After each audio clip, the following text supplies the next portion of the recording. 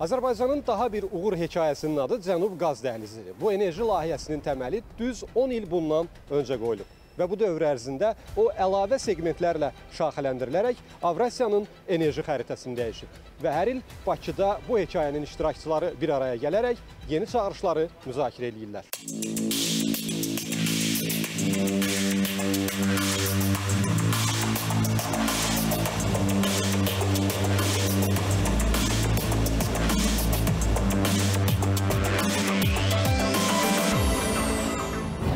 2011-ci ildə Avropa İttifaqı və Azərbaycan Xəzərdən Avropaya birbaşa qaz nəql edən marşrutların yaradılmasını dəstəkləyən birgə bəyanat imzaladı. 2014-cü il sentyabrın 20-sində Cənub qaz dəhlizinin təməli qoyuldu. 29 may 2018-ci il tarixində Bakıda Cənub qaz dəhlizinin, 12 iyun 2018-ci ildə isə Əskişəhərdə bu dəhlizin mühüm hissəsi olan Trans-Anadolu Tanap qaz boru kəmərinin açılışı oldu.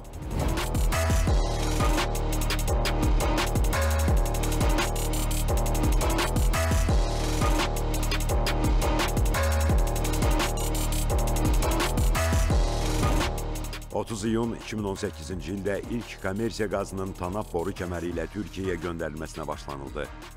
30 noyabr 2019-cu ildə Tanap qaz kəmərinin Avropa ilə birləşən hissəsinin açılış mərasimi keçirildi. 31 dekabr 2020-ci ildə isə Cənub qaz dəhlizinin sonuncu segmentinin TAP-ın işə düşməsi ilə Azərbaycan təbii qazının Avropa bazarına tədarükünə başlanıldı.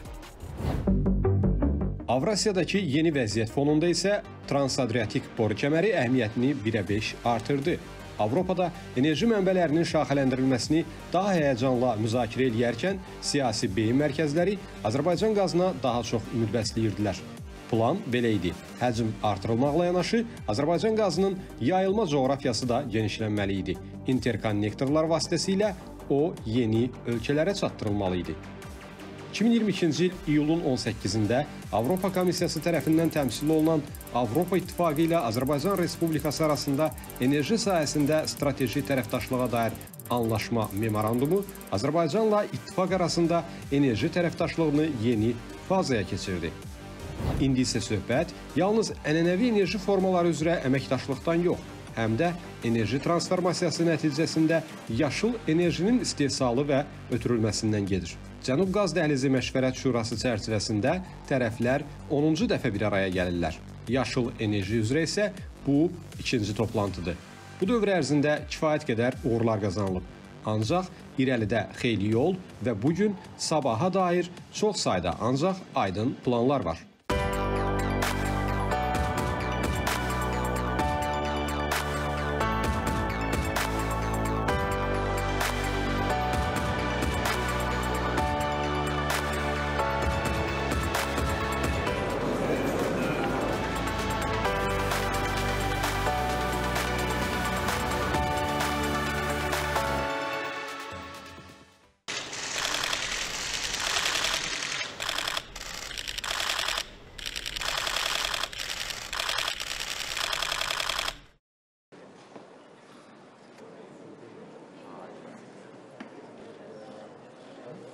23 ölkə, 6 beynəlxalq təşkilat, 43 şirkət. Azərbaycan prezidentinin iştirakı ilə Bakıda Gülüstan sarayında təkcə Cənub qaz dəhlizi yox, həm də Avrasiyanın enerji gündəliyi diqqət mərkəzində olacaq. Xatırladaq ki, 30 il öncə məhz Azərbaycanın enerji sahəsində uğur hekayəsi də Gülüstan sarayında başlamışdı.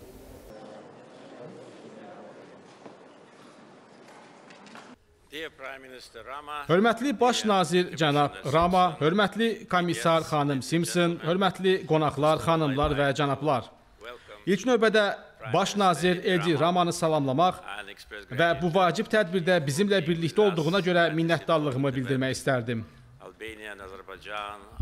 Azərbaycan və Albaniya iki dost ölkədir. Biz müxtəlif sahələrdə fəal əməkdaşlıq edirik. Bizim olduqca fəal siyasi dialoqumuz var.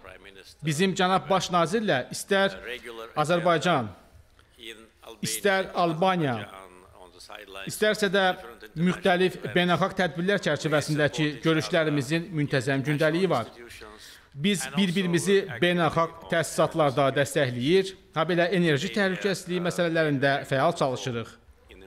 Albaniya Cənub Qaz Dəhlizi layihəsinin həyata keçirilməsində çox vacib rol oynayıb və TAP heyətinin üzvü qismində vacib rol oynamaqda davam edir. Hazırda isə biz enerji əməkdaşlığımızın müxtəlif aspektlərini müzakirə edirik. Əminəm ki, cənab baş nazirlə bugünkü müzakirəmiz zamanı gündəlikdə duran bütün məsələləri əhatə edəcəyik. Mən həmçinin xanım komissar Simpsona da növbəti dəfə ölkəmizə səfər etdiyinə görə minnətdarlığımı ifadə etmək istərdim. Bildiyiniz kimi, Azərbaycan Respublikasının energetika naziri və xanım Simpson Cənub Qaz Dəhlizi Məşvərət Şurasının həmsədrləridir. Onlar genişlənməkdə olan böyük heyətin bir araya gətirilməsi və əlbəttə Avropa İttifaqının bütün planlarımızın reallaşdırılmasında yer alması baxımından vacib rol oynayırlar. Enerjinin şaxələndirilməsi və enerji təhlükəsizliyi məsələlərində Azərbaycan-Avropa İttifaqı əməkdaşlığı yeni təchizat coğrafiyasının yaradılmasına xidmət etmişdi. Məşvərət Şurasının ötən illərdəki toplantıları zamanı biz həmişə enerji təhlükəsizliyi məsələlərini müzakirə etmişik. Azərbaycanın burada mövqeyi hər zaman ardıcıl olub.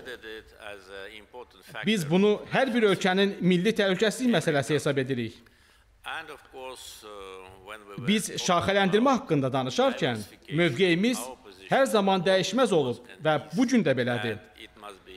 Şaxələndirmə yalnız marşrutlara deyil, həm də mənbələrə şamil edilməlidir. Bu gün Avrasiyadakı geosiyasi vəziyyət məhz bizim gördüyümüz işlərin nə dərəcədə düzgün olduğunu sübut edir. Azərbaycana gəldikdə, Cənub qaz dəhlizi tamamilə yeni marşrutdur. Bu gün ona artıq bir çox marşrutlar, interkonnektorlar əlavə edilib. Azərbaycan qazı yeni mənbədir. Yəni biz burada bu formatda təşəbbüskar olduğumuz bu layihədə enerjinin şaxələndirilməsi məsələlərinin tam şəkildə əhatə edildiyini görürük. Burada Gülüstan sarayında sonuncu bir il əvvəlki görüşümüzdən bu yana bir neçə mühüm hadisə baş verib. Bildiyiniz kimi, adətən Məşvərət Şurasının toplantıları zamanı bu qrup görülmüş işləri və qarşıda duran məsələlərin həlli baxımından görüləcək əlavə tədbirləri nəzərdən keçirir.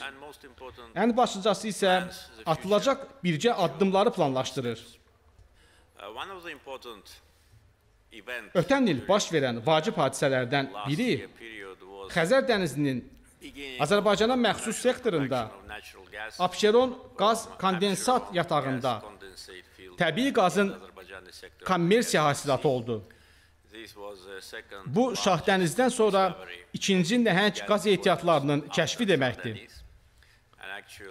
Abşeron qaz kondensat yatağı bizim gələcək şaxələndirmə layihələrimizin resurs bazasını təşkil edəcək. Abşeron layihəsinin ilk fazası artıq təsdiq edilib. Biz orada illik hasilatın 1,5 milyard kubmetr həcmində olmasını gözləyirik.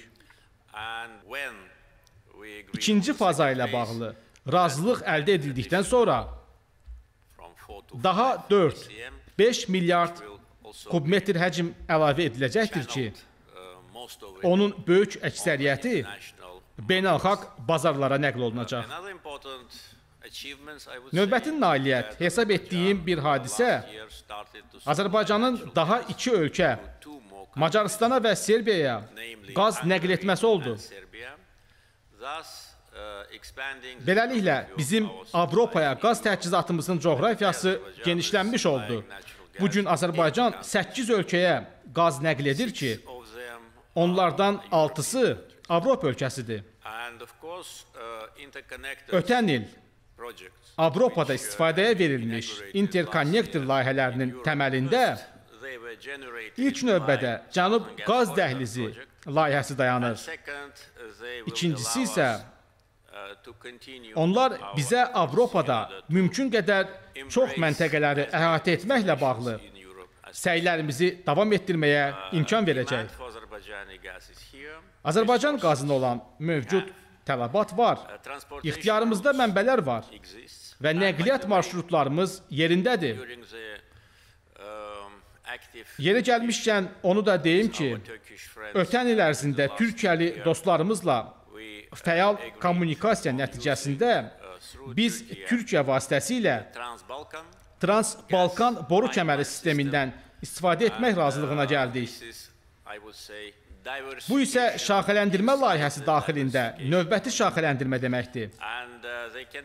Daha artıq alternativlər və seçimlər ola bilər.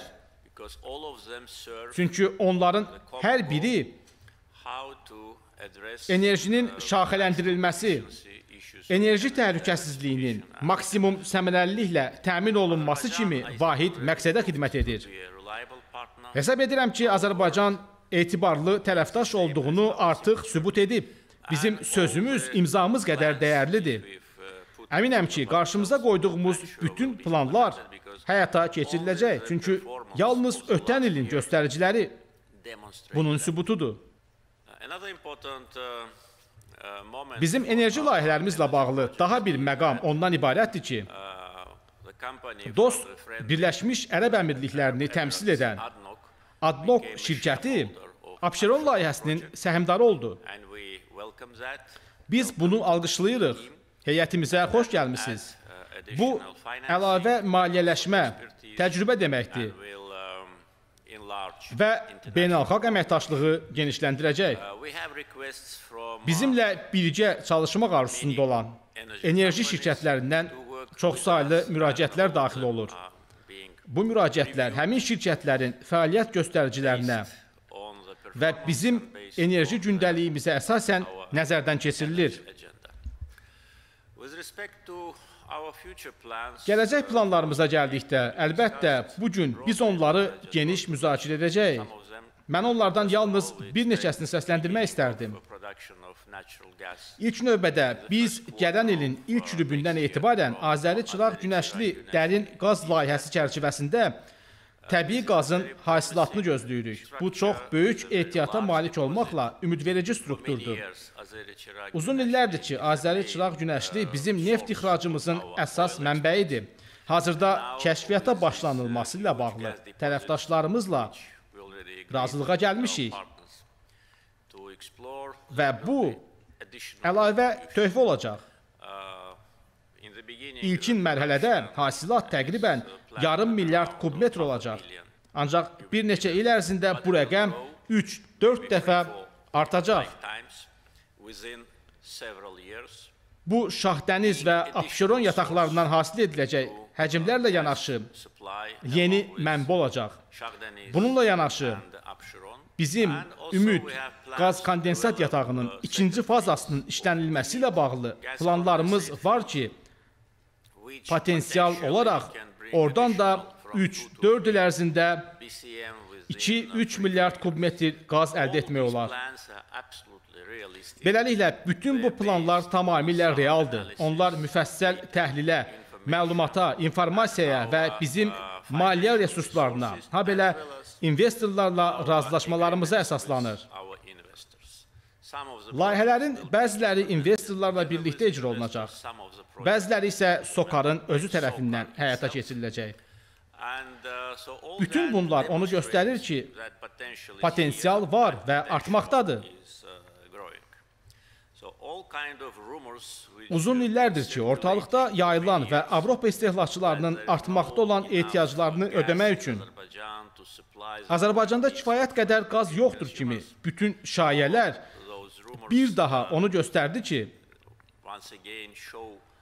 onlar tamamilə əsassızdır və bizim potensialımızın qarşısını almaq, beynəlxalq birliyə və istehlakçılara yanlış mesaj göndərmək üçün Azərbaycana qarşı yürüdülən kampaniyanın bir hissəsi idi. Azərbaycan həmçinin yaşıl enerjiyə keçid prosesində iştirak edir. Bu il Azərbaycanda Yaşıl Dünya naminə həmrəylik ili elan olunmuşdu. Bizim bərpa olunan enerji layihələrimiz yüksək göstəricilər nümayiş etdirir. Ötən görüşümüzdən bəri sizə məlumat vermək istəyirəm ki, bu layihələr arasında ötən ilin oktyabr ayında Azərbaycanda açılışını etdiyimiz ilk böyük günəş elektrik stansiyası yer alır və bu stansiyanın gücü 230 meqavatdır. Bu stansiya bərpa olunan enerji sahəsində aparıcı şirkətlərdən biri olan Mazdar tərəfindən inşa olunmuşdu və bu yalnız başlanğıcdır. İmzalanmış müqavilələrə və anlaşma memorandumlarına əsasən 2030-cu ilədək biz 5000 meqavata qədər, yəni 5 giqavat günəş və külək enerjisi istehsal etməyi planlaşdırırıq.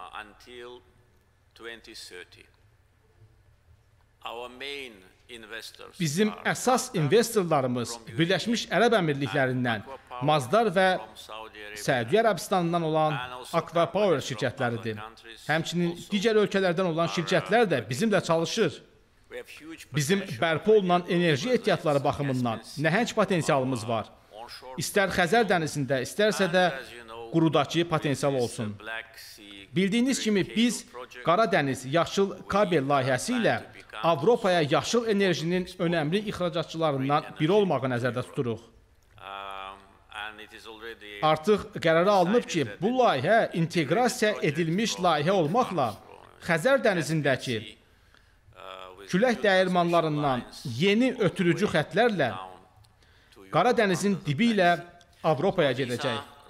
Beləliklə, bunlar bizim planlardır. Əlbəttə ki, bərpa olunan enerji mənbələrimiz nə qədər çox olsa, indi elektrik enerjisi istehsal üçün istifadə etdiyimiz təbii qaza daha çox qənaət etmiş olacaq.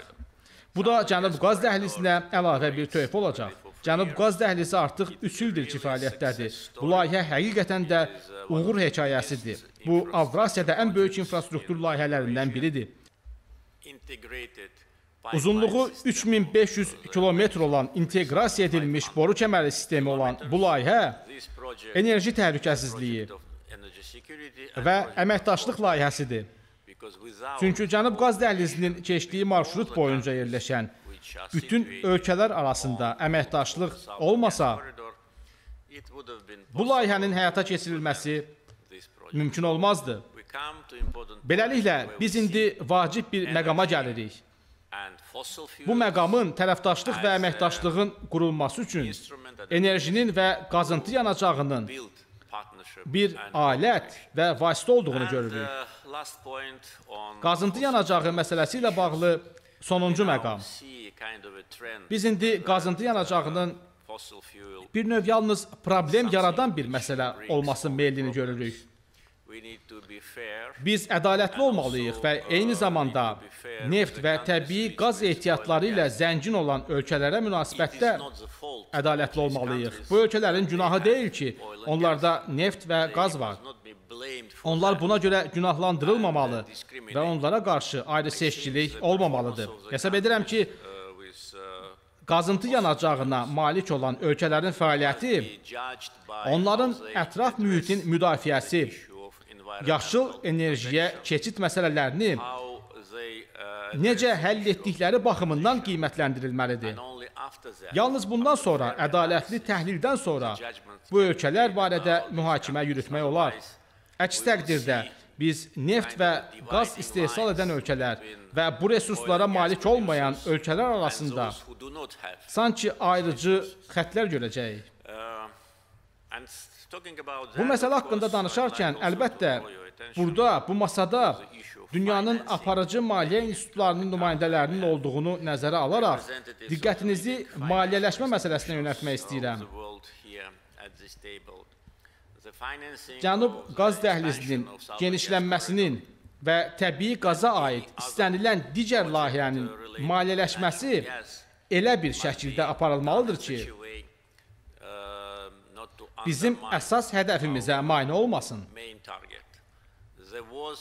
Avropada Azərbaycan qazına böyük tələbat var idi və olmaqda qalır. Bizə bir çox ölkələr müraciət etmişdi. Dediyim kimi artıq 6 ölkə bizim təbii qazı alır. Əlavə bir neçə ölkə ilə danışıqlar aparılır. Qaza tələbat var və bizim resurslarımız var. Bizim infrastrukturumuz var. Hesab edirəm ki, Avropa maliyyə institutlarından maliyyələşmə, ən azından bu layihənin maliyyələşməsi real yanaşmaya əsaslanmalıdır və ümumi hal almış qazıntı yanacağına qarşı meyllərin kölgəsi altına düşməməlidir. Biz hamımız nələrin baş verdiyini bilirik. Azərbaycan qeyd etdiyimiz kimi yaşıl enerjiyə keçid prosesinin aktiv fazasındadır. Lakin eyni zamanda heç kim bu faktı dana bilməz ki, ən azından yaxın gələcəkdə qazıntı yanacağı olmadan dünya inkişaf edə bilməz. Sonuncu məsələ.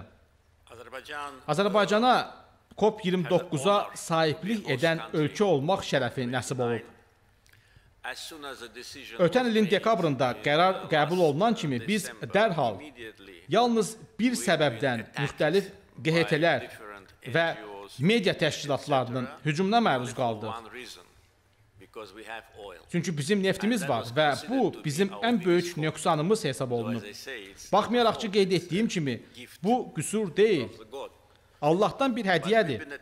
Lakin bizə hücum edərək dedilər ki, necə ola bilər qazıntı yanacağı ilə zəngin olan bir ölkə kopa ev sahibliyi edə bilər. Gəlin bu məsələyə başqa bir bucaq altında baxaq. Bəli, bizim kifayət qədər neftimiz, kifayət qədər qazımız var.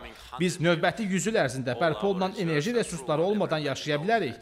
Bizim bütün ehtiyatlarımız təsdiq edilib və hər kəs bunu bilir.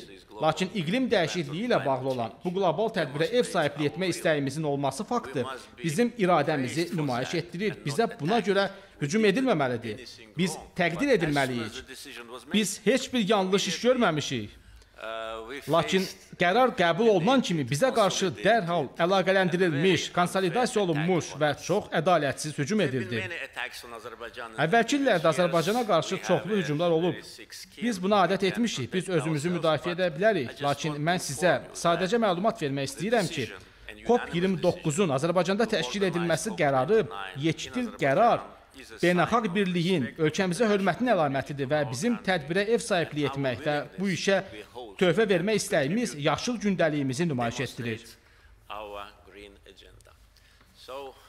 Bununla da çıxışımı burada bitirirəm. Bir daha bizimlə bir yerdə olduğunuz üçün təşəkkür edirəm. Fürsətdən istifadə edərək hamınızı COP29-a aparan bu mühüm yolda bizim tərəfdaşımız olmağa dəvət etmək istəyirəm. Təşəkkür edirəm.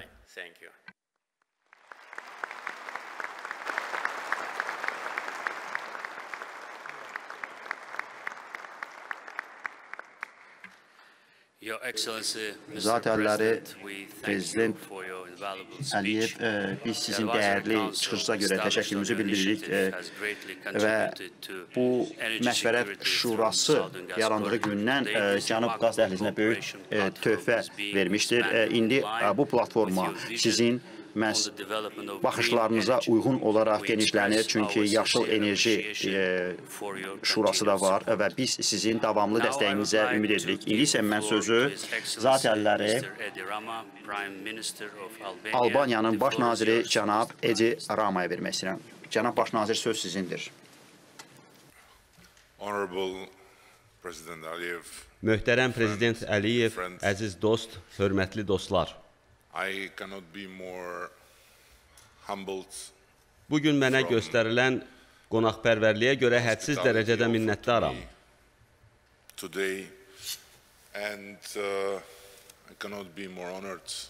Həmçinin cənab prezidentin Azərbaycan və Albaniya arasında əməkdaşlığımızın mahiyyətini, ha belə şəxsi münasibətimizi təsvir edən ifadələri məni qürurlandırdı. And also of our personal relation. Eight years ago, in this 8 il əvvəl Nazirlər səviyyəsində keçirilən iclasda Prezident Əliyev demişdi ki, Cənub qaz dəhlizi beynəlxalq əməkdaşlığın unikal formatının təməlini qoyur. Bu ölkələr, şirkətlər və maliyyə institutları arasında olan yeni əməkdaşlıq təcrübəsi gələcək illər ərzində bir çox digər sahələri də əhatə edəcək. Cənab Prezident bunu proqnozlaşdıra bildi.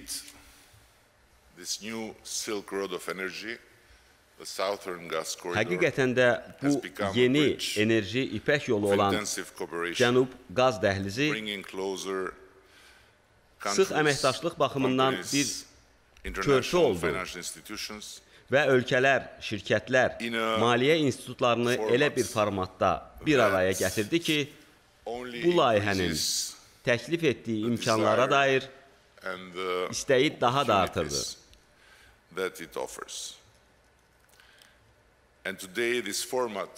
Bugün bu format elə bir körpü rolunu oynayır ki, artıq onun tərkib hissəsini yaşıl enerji təşkil edir.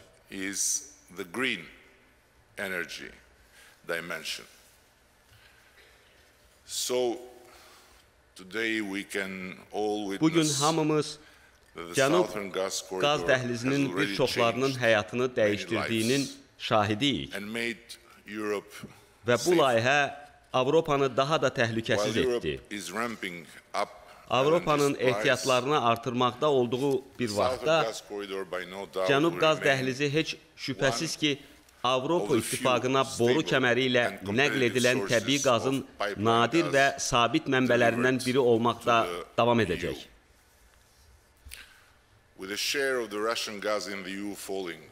Avropaya Rusiyadan nəql edilən qaz payının 40%-dən 8%-ə və tezliklə sıfıra bərabər olacağını, yaşıl gündəlik və karbonsuzlaşma məsələlərinin olduqca aktual olduğunu nəzərə alaraq Azərbaycan qazı və Xəzər hövzəsi bizim birgə gələcəyimiz üçün mühüm rol oynayır. Albaniyaya gəldikdə biz strateji baxımdan Trans-Adriatik boru kəmərinin marşrutu üzərində yerləşirik və bu Cənub qaz dəhlizi layihəsinin mühüm halqasıdır. Əlbəttə ki, biz bu transformasiya imkanına malik dəhlizin imkanlarından istifadə etmək niyyətindəyik. Bunun üçün biz bərpa olunan enerji layihələrinə sərmayə qoymağı və dayanıqlı enerji infrastrukturu yaratmağı hədəfləyirik. Hazırda Albaniya tam şəkildə bərpa olunan enerjidən faydalanan ölkədir. Lakin Bizə enerji mənbələrinin şaxələndirilməsi lazımdır və biz bu istiqamətdə çalışırıq. Bizim üçün şaxələndirilmə əsasən hidroelektrik enerjisi deməkdir. Bərpa olunan enerji layihələrinə sərmayə qoyuluşu bizim üçün həlledicidir və son illərdə bu Albaniyanı yaşıl keçid və enerji sektorunda innovasiyalar baxımından təbii məkana çevirib.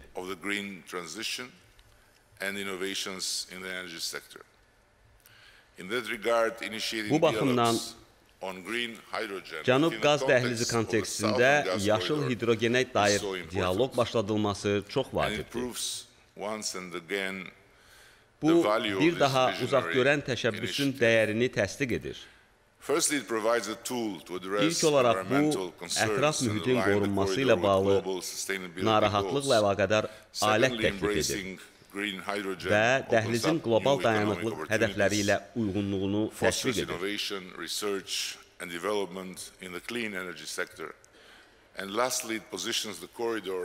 İkincisi, yaşıl hidrogen yeni iqtisadi imkanlar açır, təmiz enerji sektorunda innovasiyanı, tədqiqatı və inkişafı təşviq edir. Nəhayət, bu dəhlizi karbonsuzlaşmanı hədəfləyən dünyanın dəyişməkdə olan tələblərinə cavab verən uzaq görən layihə olaraq təqdim edir. Diqqətinizə çatdırmaq istərdim ki, Azərbaycanlı dostlarımız mövcud infrastrukturumuzun inkişafı üçün ən əlverişli ssenarilərin müəyyən edilməsi və enerji sahəsinin çağırılışlarına uyğunlaşdırılması baxımından təcrübələrini bölüşərək bizə əvəzsiz töhfə verirlər. Buna görə dərin minnətdarlığımızı bildiririk.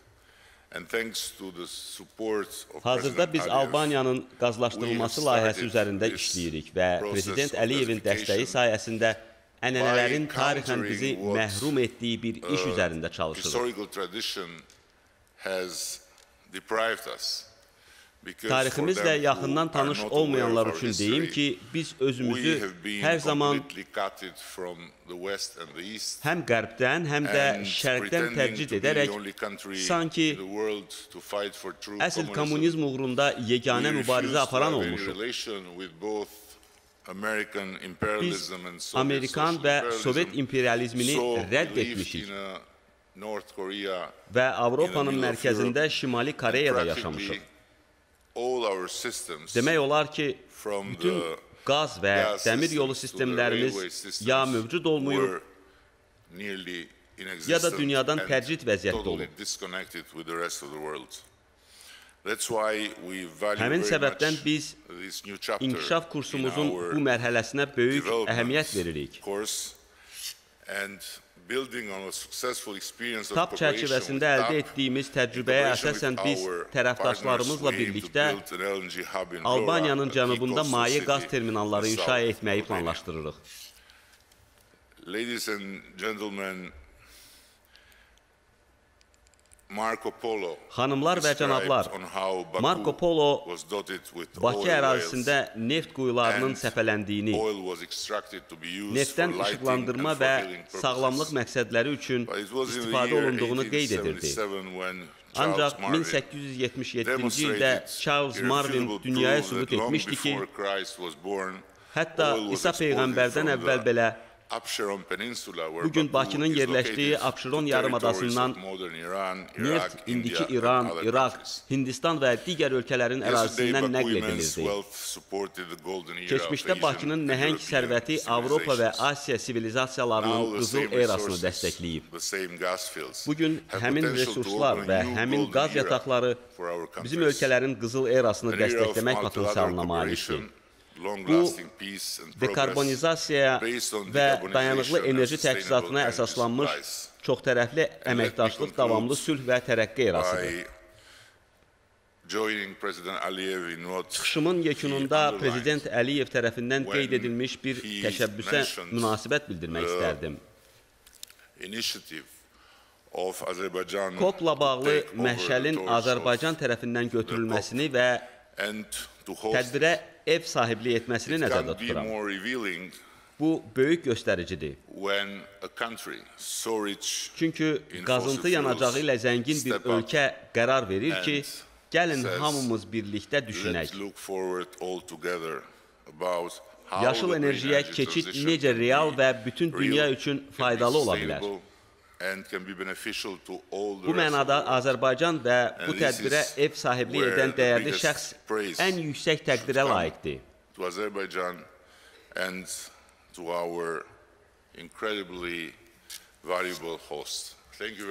Cənab Prezident, çox təşəkkür edirəm. Sağ olun.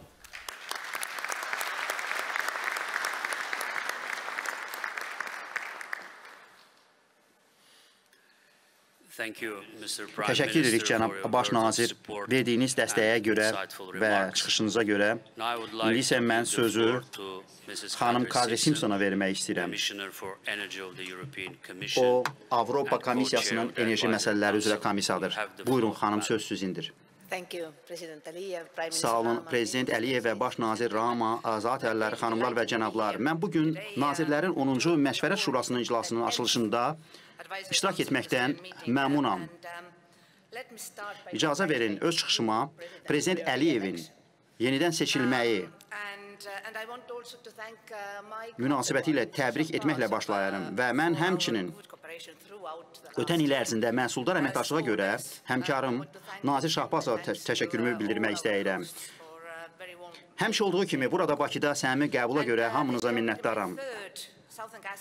Mən artıq üçüncü dəfədir ki, Məşvərət Şurasının iclasında iştirak edirəm və elə bilirəm ki, xoş bir təsadüfdür ki, biz keçmişə nəzər salmalıyıq. Mən e, 2019-cu ilin dekabrın 1-də öz səlahiyyətlərimin icrasına başladım və həmin vaxt e, məhz TANAP qaz boru kəmərinin Avropaya çıxması anı idi. E, və Azərbaycan qazının Avropa İttifaqına ilk axını bir il sonra 2020-ci ilin dekabrın 31-də başladı. O vaxt Covid vaxtı idi, təmaslar çətin idi. Avropada bəziləri düşünürdü ki, Cənub qaz dəhlizi artıq başa çatmış bir missiyadır və ona daha çox diqqət yetirilməli deyil. Mən belə düşünmədim. Mən hər zaman gördüm ki, Azərbaycan etibarlı tərəfdaşdır və əməkdaşlığımızda onun genişləndirilməsi üçün güclü potensial var. Və mən 2022-ci ildə bura ilk iclasa gəldikdə mən müzakirə etdim ki, necə etməliyik ki, məhz bizim münasibətlərimizin bütün potensialı daha da genişlənsin, bu dəhliz yeni bazarlara çıxsın və e, təmiz enerjiyə gəldikdə biz öz işimizin miqyasını artıraq. Və bütün bunlar baş verdi. Bu gün məhz ə, qaz axını Avropaya Cənub qaz dəhlizindən gedir və 2021-ci ilə müqayisədə bu 46% çoxdur. 2023-cü ildə Avropa İttifaqı 11 milyard kubmetr Azərbaycandan sabit və təhlükəsiz şəkildə qaz təchizatını qəbul etdi və Avropa İttifaqının üzv dövlətləri və genişlənməyə namizəd olan ölkələr, onlar bu qazın alınmasında maraqlıdırlar. Artıq söylədiyim kimi biz e, ötən il məhz Pan Avropa təchizatına sizin çevrildiyinizi gördük və bu baxımdan biz ə, əslində bu həcmlərin artırılması üzərində işləyirik ki, biz gözləyirik ki, Azərbaycandan daxil olan ə, təbii qaz ə, Avropanın enerji sistemində enerji keçirimi zamanı mühüm rol oynayacaqdır. Artan Rusiyanın zorakılığı və davam edən əsassız müharibə şəraitində tamamilə aydındır ki, Avropa üçün ə, əslində işlərimiz Rusiya ilə enerji sahəsində əvvəlki kimi olmayacaqdır ki, çünki hal-hazırda biz görürük ki, digər etibarlı enerji tərəfdaşlarımız var və onlardan biri məhz Azərbaycandır və sizi əmin edə bilərəm ki, Avropa İttifaqı Azərbaycanla işi uzun müddətlidir və bu səbəbdən Azərbaycan Cənub qaz dəhlizinin genişləndirilməsi üzərində işləyir və 2027-ci ilə qədər qaz ticarətini iki dəfə artıracaqdır ki, və ən vacib isə Avropa İttifaqı ilə Azərbaycan onların arasında strateji enerji əməkdaşlığı öz çevikliyini və dinamikliyini göstərdi. Cənub qaz dəhlizi həmçinin bərpa edilən enerji və elektrik enerji sahəsində əməkdaşlıq üçün forma çevrilə bildi. Bu inanılmaz nəticədir və bu layihənin nə dərəcədə gələcəyə yönəlmiş və aşıq olduğunu subuta yetirdi.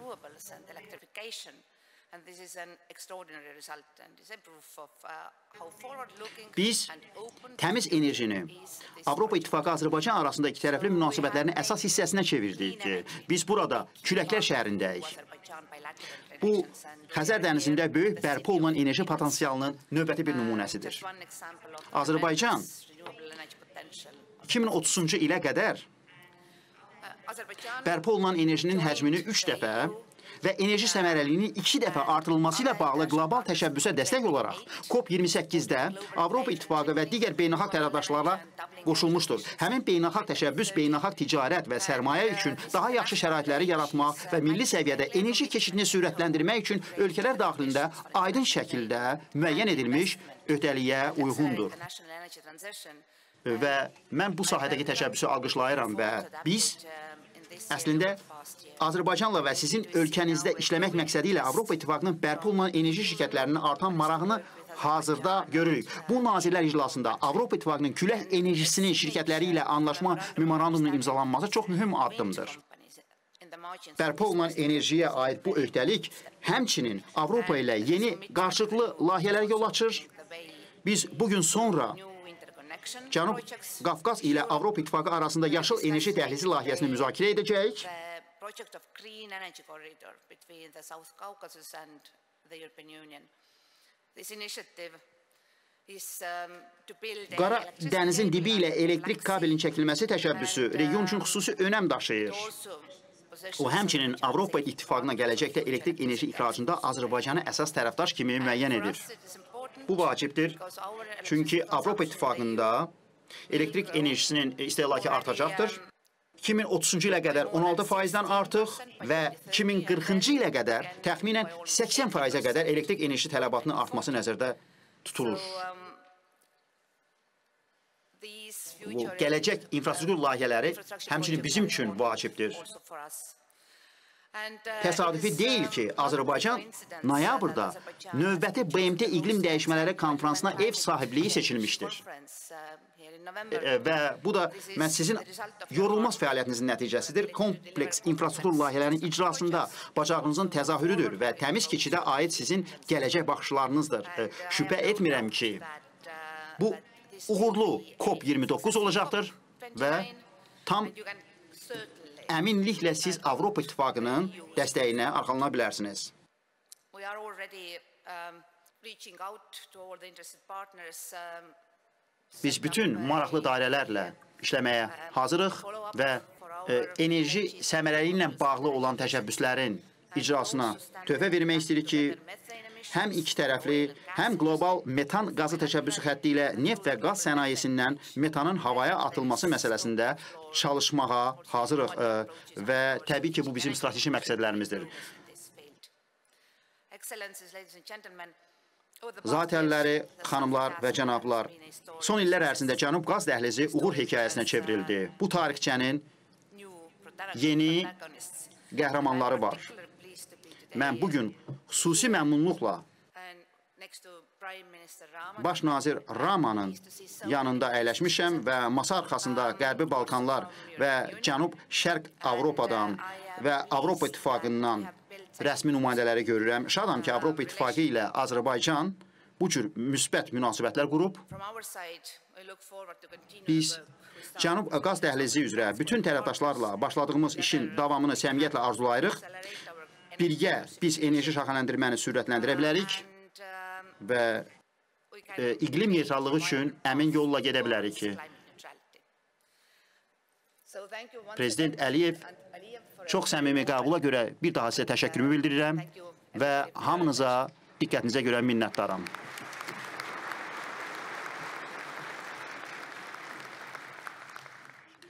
Komissar Simpson, fəal həmsədrliyinizə görə təşəkkürümü bildirirəm və bizim şura çərçivəsində enerji sahəsindəki əməkdaşlığa verdiyiniz dəstəyə görə minnətdaram. Bununla bizim açılış sessiyamız başa çatır. Cənab Prezident, Cənab Baş Nazir, e, bizimlə olduğunuza görə bugün sizə təşəkkürümüzü bildiririk.